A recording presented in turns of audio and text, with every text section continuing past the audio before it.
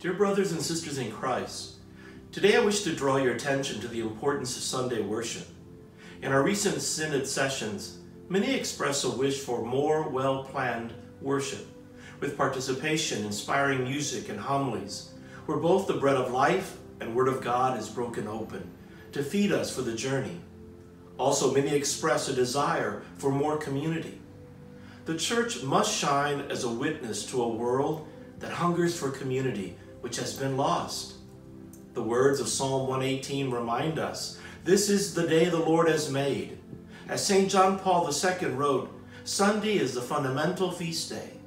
The church speaks of our obligation to celebrate Eucharist because it is at the table where the assembly is transformed for Jesus' mission.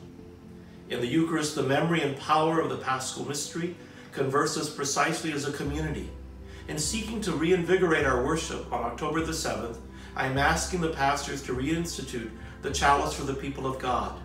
Your presence is a gift to your brothers and sisters. I invite all to respond to the desire of the Second Vatican Council to celebrate Eucharist with full, conscious, and active participation. May our presence together at Sunday worship enable us all to become witnesses to the world of Paschal joy. Estimados hermanos y hermanas en Cristo, hoy deseo comentar sobre la importancia del culto dominical.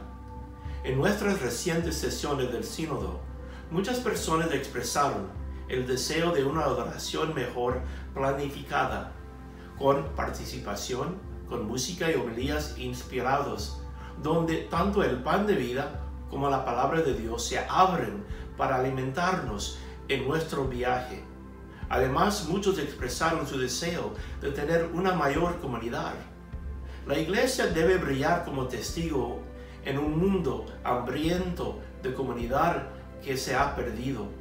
Las palabras del Salmo 118 nos recuerdan, este es el día que hizo el Señor. Como escribió San Juan Pablo II, el domingo es el día de la fiesta fundamental. La iglesia habla de nuestra obligación de celebrar la Eucaristía, porque es en la mesa donde la asamblea se transforma para la misión de Jesús.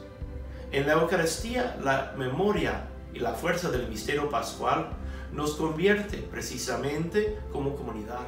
Es en esta búsqueda de revitalizar nuestra adoración que le pido a los párrocos de nuestra diócesis que restituyan el ofrecer el cáliz para el pueblo de Dios a partir del 7 de octubre.